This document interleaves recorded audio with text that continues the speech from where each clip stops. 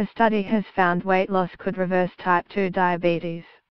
The UK clinical trial showed that 46% of people on a low-calorie diet for 12 months were able to stop their type 2 diabetes medications. This confirms a position outlined in a previous paper that people can beat diabetes into remission if they lost about 15 kilograms. Another study showed that prediabetes, a blood sugar level that is high, but lower than necessary for diabetes diagnosis, can be prevented by losing as little as 2 kilograms.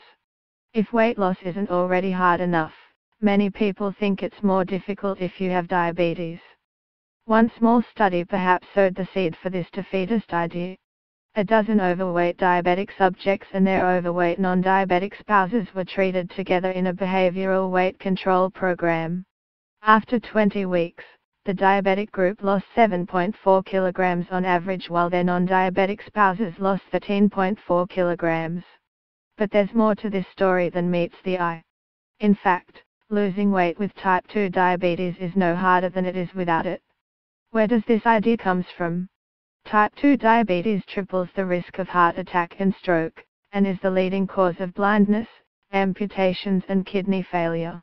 Treatment with modern drugs improves the outlook, but complications still develop and life expectancy is substantially reduced, especially for younger people. So beating it into remission is the ultimate goal of management. If weight loss helps reach that goal, people need to know if it's harder to achieve than without diabetes. From all the information out there you might think it is. In diabetes, the fat-burning mitochondria, the powerhouse of our cells, may be more sluggish and hunger hormones may be out of whack. Read more, what are mitochondria and how did we come to have them?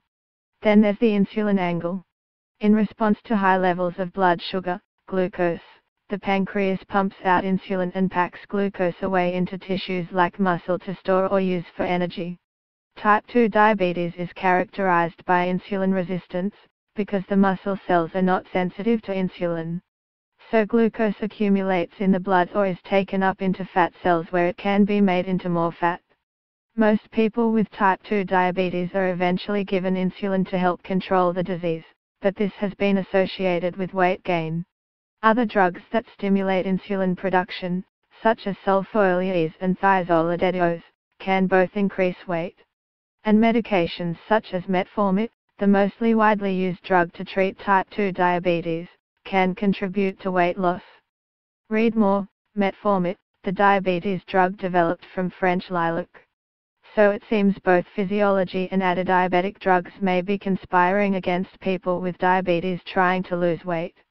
But it's not true earlier this year, a systematic review explored whether it is harder to lose weight if you have type 2 diabetes.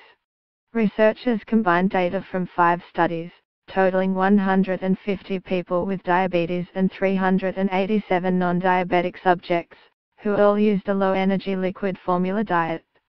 They concluded that weight loss was the same, around 0.5 kilograms per week, for both groups.